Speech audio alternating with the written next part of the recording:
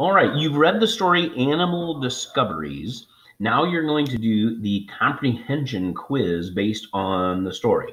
Please remember, you not only can use the book, you should, because on some of these, I'm going to have you put down a page number, okay, just like we did, did with the outburst, okay?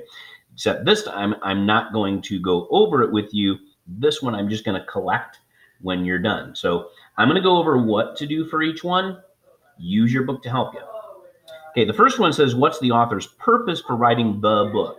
Now, that's going to be kind of throughout the whole book. I do not need a page number for number one.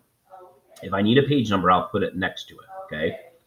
Number two, what opinion does the author express in the introduction? Well, I do think you can give me a page number for that one pretty easily. So give me a page number for where you found that answer. Next one. Oh, by the way, an opinion is what someone thinks. Okay.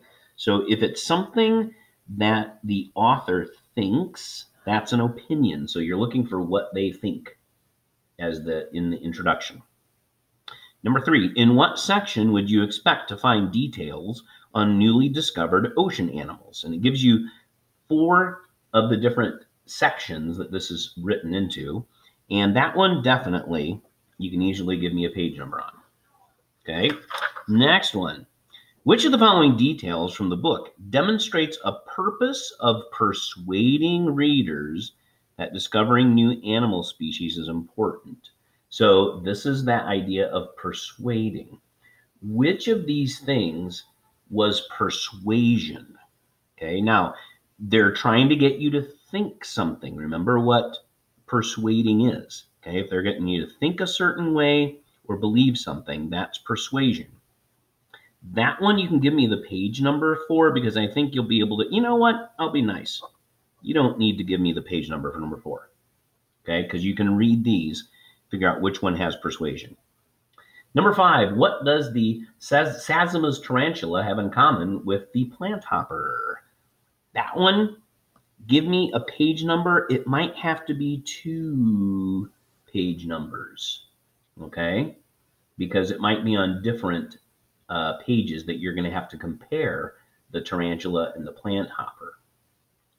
Next one, what does the word remote mean? That one you can definitely give me a page number. Realize that that is in bold, so it's going to be in your glossary. That should be a helpful hint for what the page number is. Okay, number seven. How does the chart add to the reader's understanding of newly discovered animal species? Now, you're going to have to find a chart. A chart is just like a bunch of information organized on a table. Okay, so find the page with that and then answer this question How does it add to your understanding of the newly discovered animal species, you'll have to look closely at the chart. So make sure that you do that. Don't glance at it and go, I don't know. What is the chart telling you? Look at all the information on the chart. Okay. All right. Number eight scientists are people who study. That one you can give me a page number for because, again, bold. Number nine, what effect can saving and restoring habitat have? That one, definitely you'll want to find a page number for it. Okay, which one's the right answer and where did you find it? Number 10, why does the book include a glossary? Well, that one you do not need a page number for because you just have to know what a glossary is and what it's going to do. All right. Then your favorite part, the best one of all, is if I can find it. Wait a minute.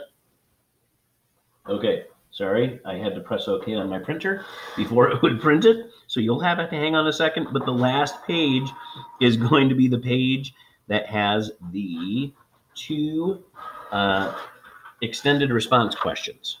Oh my goodness, what happened there? Okay, I will need to go to the extended response questions in my Oh, darn it. I can't find it. All right. Tell you what. Here's what I'm going to do. Because my printer just did something weird, I am not going to make you do the extended response. this should be enough finding all those page numbers. All right. So I will not make you do the extended response. However, I do want you to take the time to really find all of those things. All right. Okay. I think you'll do a fine job. Um, I know you do have the extended responses, but I couldn't go over with over them with you. And I'm just going to be nice. We will probably do those in the future, though. All right.